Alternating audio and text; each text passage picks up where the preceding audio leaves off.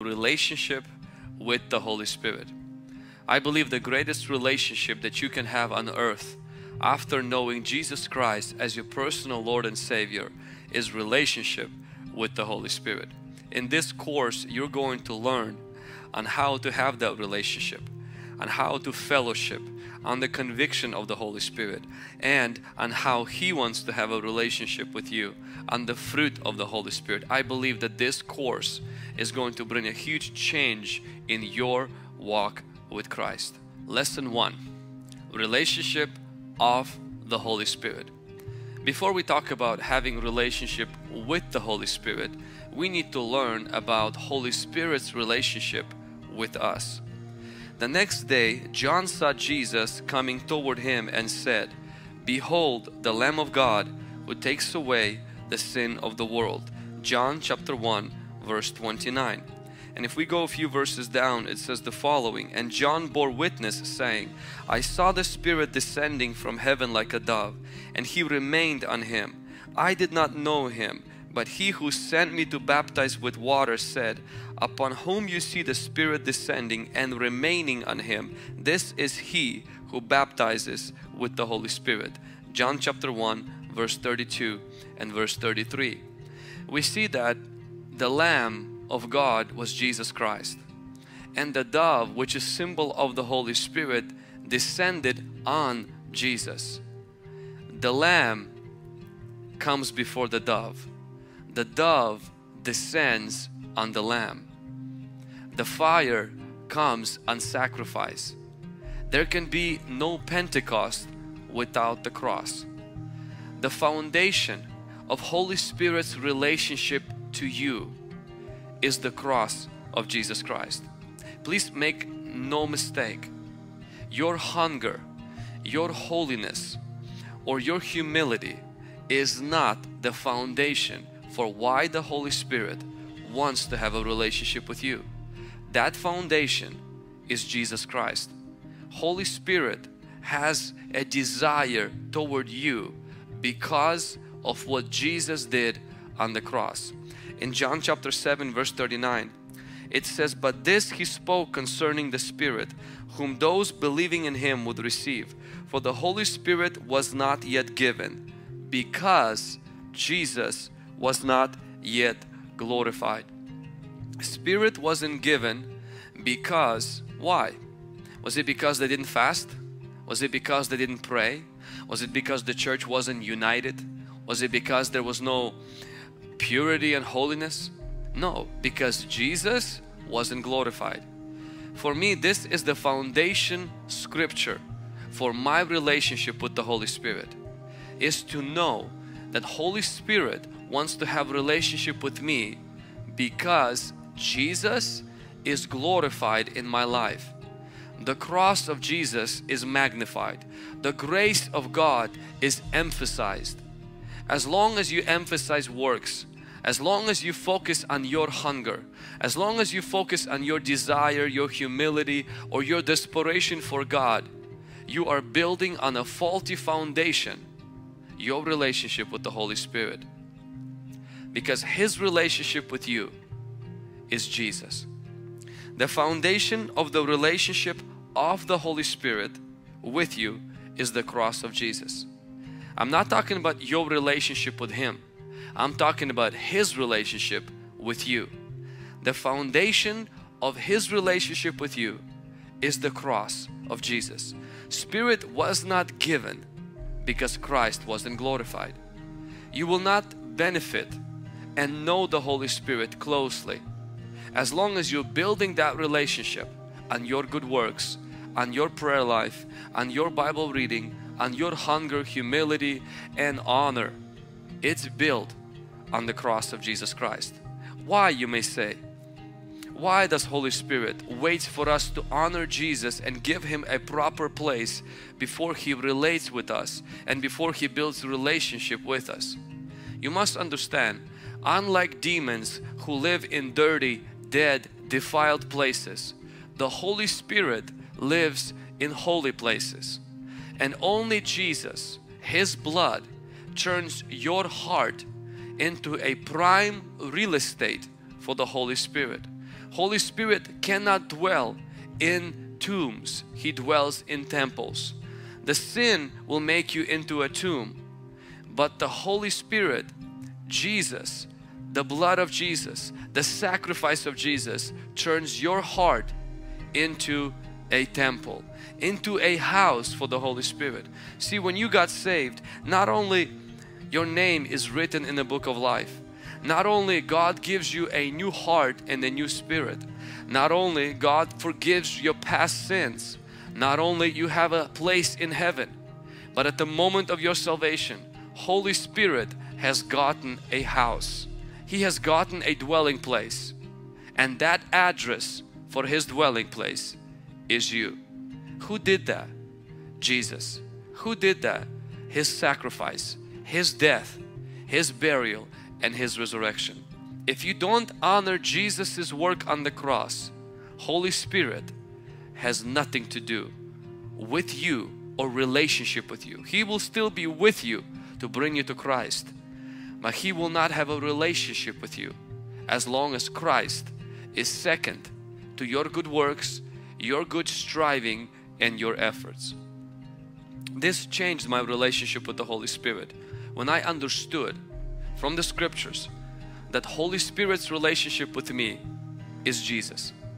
My relationship with Him is because of that hunger, that desire, because of how much He wants to be with me.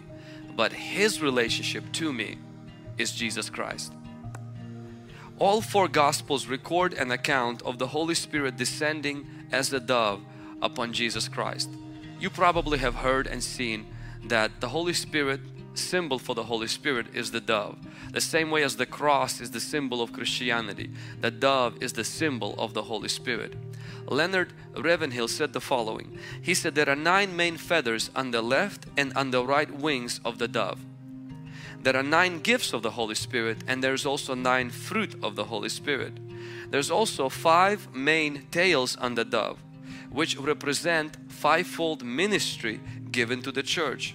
The tail feathers of the dove are like the rudder of the ship. They assist in balance and direction in flight. Just as the fivefold ministry gives in the church bring balance to the body of Jesus Christ. So it's one of the symbols of why the Holy Spirit is represented as a dove. The first mention of the dove in the Bible is in the Noah's story. Noah's story is very illustrative and it's a huge symbol of Christian life for us. For example, as Noah was sheltered from the wrath of God by going to an ark, you and I are protected from the wrath of God by going into Christ. That ark of Noah is what Jesus is to us. Noah was a good person, yet his goodness wasn't enough to save him from the wrath of God. The Bible says Noah was righteous even before God, meaning he was better than other people.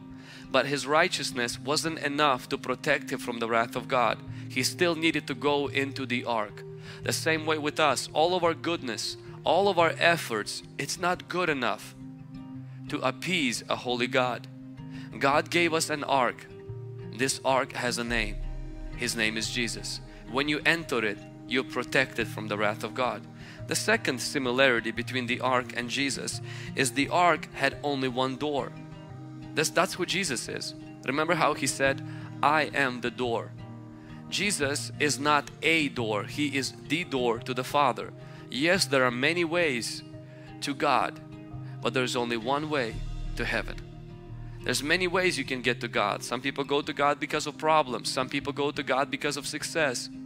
But if you want to have a relationship with God, if you want to go to heaven, there is only one door and that door is Jesus Christ. Ark not only it saved Noah from the wrath, not only had one door, but the ark also had one window. And that's symbolic of the Bible because a window in the house allow the outside light to come in and it allows the insiders to see the outside world through a glass. The ark had one window. Not many, but one. The same thing is with Christ. Christ has one word through which we see the spiritual world and through which God's illumination and light and information comes into our heart. And that window I know you already know what that window is. It's the Bible. So not only the ark protected from the wrath of God not only the ark had one door and the ark had one window but the ark also had one family on the inside Noah's family. Everyone in the ark was family there was no cousins there was no neighbors they were all brothers and sisters. So is in Christ. When you go into Jesus you become brothers and sisters in Christ. Whether you're black you're white small or tall smart or not so smart whatever your financial situation is we are all a family because the blood of Jesus makes us into one. But what I want to highlight in the ark is the ark had a dove. Jesus is the baptizer of the Holy Spirit. In the beginning of this lesson I've read how John the Baptist said of Jesus that he is the one. He will that the testimony the, the, sign that Jesus is the one is that the dove will descend on him and he will baptize in the Holy Spirit and fire. The ark had a dove. Jesus introduces us to the person and the work and the power of the Holy Spirit this dove flew out of the ark through the window the same way Holy Spirit speaks guides fills convicts but he does that in the parameters of God's Word. Holy Spirit wrote the Bible so he will not lead, speak or do something that violates his word. He doesn't get out through the chimney or through the basement. He gets through the window of God's word. This dove was released out of the ark three times. The first time when the dove left the ark, it found no resting place. This speaks of the dispensation of the old covenant where the Holy Spirit couldn't rest in people. He couldn't dwell in them because they were not clean. They were not purified by the blood of Jesus. Jesus was yet to die. The second time ark, the second time the dove was released from the ark, we see that this dove brought a fresh olive branch back, uh, olive leaf back to the ark. And this speaks of the new covenant where the Holy Spirit introduces Jesus who died for us, who brought the good news of the gospel by dying on the Calvary for our sin. And then there's a third time the ark left the dove, I'm sorry, left the ark. And this time when the dove left the ark, dove never came back. This speaks of the church age where the Holy Spirit was poured out and He's staying here all the way till the coming of Jesus Christ. So what I want to remind you today is the Holy Spirit has His headquarters in Jesus. Holy Spirit honors Jesus. Holy Spirit mission is to glorify Christ. If Jesus is not the center of your life, you cannot have a relationship with the Holy Spirit. He will not have a relationship with you because He can't be given to someone who doesn't glorify Christ. His relationship with you is based on your relationship to Jesus Christ.